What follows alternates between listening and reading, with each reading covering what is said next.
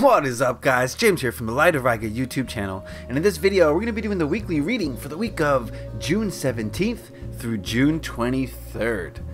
I was just thinking about last week's reading, and I don't usually say this, but I can't believe how accurate and on point it was. I don't usually toot my own horn, but toot toot. Uh, I had no idea it was the new moon coming up that week, and then the, the whole reading was about new manifestations. It was crazy. Uh, so yeah, I'm tooting my own horn. Okay, sorry, I had to do that. Um, have you guys checked out the Breathe Deeply spread that came out for all zodiac signs uh, last week as well? So be sure to check those out on my YouTube page, of course. Where else? And uh, yeah, let's get into it. Uh, today we're going to be using the crystal reading card, so it's going to be a little bit bit of a different kind of vibe in today's reading. We're going to kind of focus on what healing energies we, we need to uh, focus on for this week. So if you would please give me a moment to center myself, uh, shuffle the cards, and get the cards out, I would appreciate it.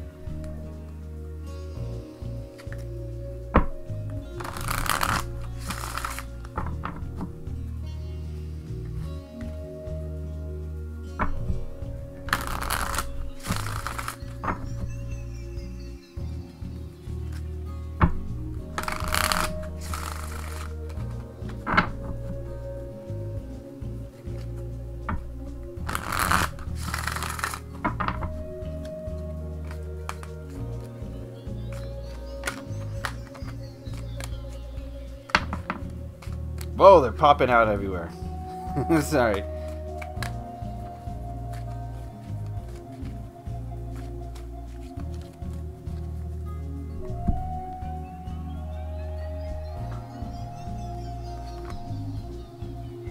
All right. Uh, be sure to check out my website if you haven't already, lightofryga.com, the place to book a reading with me, and to uh, check out free daily readings on the homepage. So be sure to bookmark that. There's a link in the description if you haven't been there yet.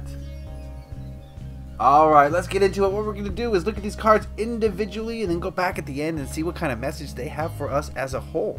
And the first card we're going to look at is this left one. And we've got diopside. Ooh, Mother Earth. Hold on, let me grab my di diopside. That's a uh, chrome diopside in the picture. This is just regular diopside. Uh, but it's a very earthly, grounding stone. It helps you connect to, to nature, helps you connect to Mother Earth. And I think that's uh, what this card is suggesting.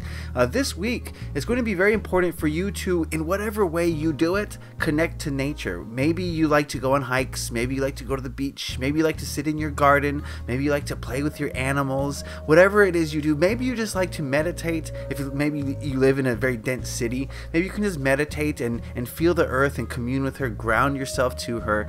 It's going to be very important to get that connection to Mother Earth this week because we need to stay grounded. We need to make sure that we're still living in this 3D reality, even though our minds and our spirits and our souls may be floating in the ether. You know, uh, so stay grounded this week, whichever way you do it. Just just get in contact with nature.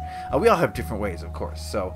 Um, you know, ride bikes outside, go on hikes, go on walks, whatever it is. It doesn't have to be anything major. Like I said, just sitting in your garden for a little while, just uh, looking at the birds and the and the insects and the plants and the trees swaying in the breeze uh, is enough to just give you that sense of of where you are in the world and uh, your purpose here even.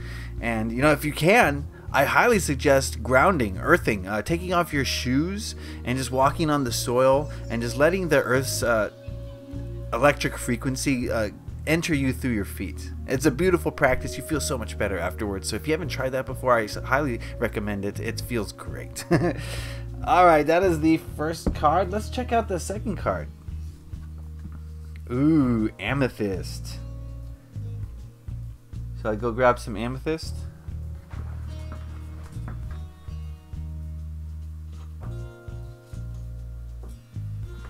Here's just a little cluster, a little cluster of amethyst. Got them all nearby. uh, and meditation. Oh, okay. So, so far, uh, I, I do feel as though um, getting into contact with the things that we can't necessarily see, hear, feel, or touch is seeming to be a theme this week. And so, meditation again means something different for everybody. We all do different types of meditation. I mean, some people play sports, and that allows them to clear their mind and, and kind of remove their ego thoughts. Uh, some people like to go on hikes, uh, you know, alone in the woods. That's a great type of meditation. Some people like to dance. Uh, some people like to actually meditate and, you know, sit in a lotus position or lay down. I like to lay down when I do it. so it looks like I'm sleeping, but I'm definitely not. Uh, and you know, there's so many different ways. People do art as a form of meditation. Whatever it is that removes the ego mind from the forefront of your thoughts is going to benefit you greatly. And i think that's another thing to focus on this week is is a meditation and and getting into contact with the earth getting in contact with the self with the soul with the the higher self the part of you that's connected to the ether the part of you that's connected to source the part of you that's eternal. It never dies. It is always there. And it has information for you. It has uh, you know guidance, it has protection, it has all these things for you, but you have to kind of be willing to to connect with it. It's always willing to connect with you, but you have to be willing to connect with it. And I think that's something that we can focus on this week is a stronger connection with our higher self, with our soul, whatever you want to call it. The words aren't important. Uh, with that light that is inside of you, however you describe it, it doesn't matter. But uh, through meditation, through connection to the earth, you're going to develop that uh, relationship and it's going to benefit you in so many different ways. Like I said, it's going to bring clarity, it's going to bring information, it's going to bring guidance, it's going to bring protection, it's going to bring all these things to your life that are going to improve it in every facet. So, however, you meditate, uh, do some meditations this week. If you can double up and do meditation in nature, you are winning. okay, let's take a look at this last card. Oh, we've got Lapis Lazuli. I got one at the table. Here he is. He's a skull. I have uh, two of these left in my shop. If you want to check, if you want one of these for yourself, if you, if you like skulls and if you like lapis lazuli, um, check out my Etsy shop. Do I have a link in the description? I think there should be a link in the description. But anyway, lapis lazuli, past life.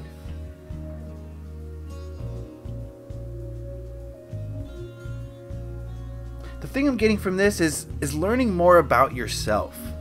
Uh, not just where you come from, not just your past lives, but also who you are in the now and where you want to be in the future uh, in this lifetime.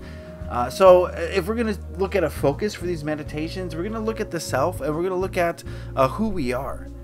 And you know, seeing these cards as a whole, I definitely get a very vivid image of what uh, the focus should be this week. But let me just talk a little bit about Lapis Lazuli before I, I say that. Lapis is a great third eye opener. It is going to help you to perceive the spirit realms, which is going to help you to perceive the self, the higher, your soul, your higher self, uh, because it exists in the higher realms. So it using lapis lazuli in meditation is one of the premier crystals. If you place it on your third eye while you meditate, again, it helps to lay down when you do this. That's partly the reason why I like to lay down, is because I like to place crystals on my chakras, uh, and it's very hard to do when you're sitting. Uh, but when you're laying down, you can place a crystal on every single chakra, and um, if you place a lapis lazuli on the third eye, uh, and if you're if you're sensitive to crystal energy, I think you're gonna notice for a lot of you. Of course, crystals affect everyone differently, but you're gonna notice uh, an expanded awareness of of just everything, just everything. it's not gonna be instant. Okay, you have to work with the crystal. You have to develop a routine, and you have to develop a relationship with the crystal. Obviously, that's how crystals work. A lot of people pick up a crystal, look at it, and say, "This isn't working." okay, this is a relationship. This is a bond that you have to strengthen, and um, if you use lapis lazuli in meditation, uh, over time you will notice the expansion of your third eye. I'm not guaranteeing it because again, everyone's different, but for me, it has definitely worked. And now that we've seen all these cards here together, uh, here we can put little crystal friends on each of their on their respective cards. Are you gonna stay? Are you gonna? Yes, you are. All right. Now that we've seen all these cards together, uh, the feeling that I'm getting here is that this week is going to be about strengthening connections. Strengthening connections through the to the earth to the physical realm so that you're here on earth you're grounded you know what's going on. Uh, connections to the higher self, to the soul, uh, which is going to again bring down a lot of information for you, and also connecting to the self that uh, is kind of on this physical plane. Um, who you are as an individual. So there's going to be a, there's going to be a week of self-exploration, I think. There's going to be a week of connecting our ourselves to the earth because when the the greater our connection to the earth, um, the easier we can bring down this information from the spirit realm. Sometimes information gets lost in the translation. Sometimes it comes to us in the form of a feeling. And by the time we wake up from the meditation, it's kind of gone. We've forgotten it.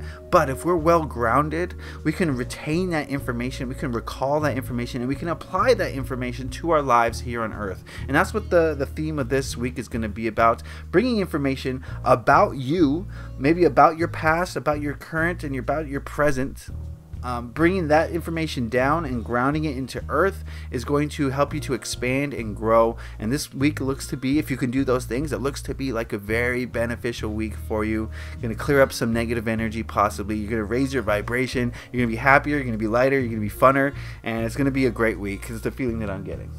Okay? So that is the video, my friends. I hope you guys got something out of it. Uh, if you did, please leave a like. It lets me know that you enjoyed it. If you have any questions, comments, or concerns, put those in the comment section below. And if you haven't subscribed already, go hit that subscribe button. It's on the page somewhere, okay? And uh, that'll help you to stay up to date with all my videos. If you haven't seen the Breathe Deeply readings, go check those out. All right, so uh, looks like a great week, my friends. Do some meditations, whatever that means for you. I want to wish you love and light as you go through this week. Uh, leave a like if you enjoyed this. Happy taroting. Peace.